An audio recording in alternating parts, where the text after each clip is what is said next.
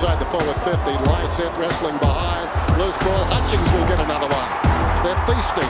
He's got three. Fortunately, um, yeah, staying around for another couple of years and um, give me a chance to be a part of a team that um, is chasing success and wants to get better. So, yeah, I mean, the season ended up um, fairly abruptly and not, not the way we wanted it to. Yeah, a bit sweet and sour, but um, yeah, I'm just honoured that I can stay around and um, hopefully contribute to the improvement of this team. The boys feel like we could have played for another month, um, but we weren't good enough. So uh, going into pre-season, uh, we understand uh, we're not where we want to be uh, by any stretch of the imagination. And when we start pre-season, that's our time to prepare and build a foundation for hopefully a successful 2017. It's going to take hard work for us to get out, um, for us to improve, and that's that's the aim of the coaches and the, and the players and everyone at the club at the moment. Knocked it down through the hands of LeCras. Hutchings, a quick snap.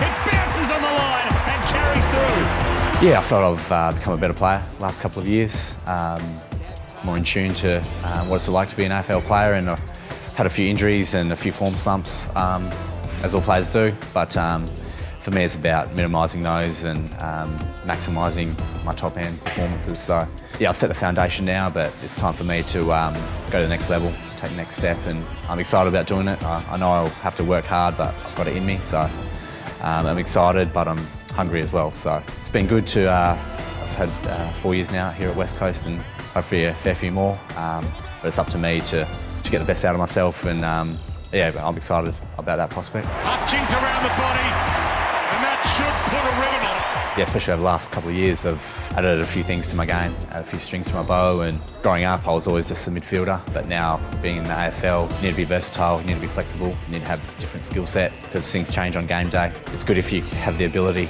to play in different positions, um, play forward, play on, play on a opposition mid or uh, do my own thing. So I've really embraced it. Uh, and I feel like um, if I can keep improving on those things, it'll make me an even better player.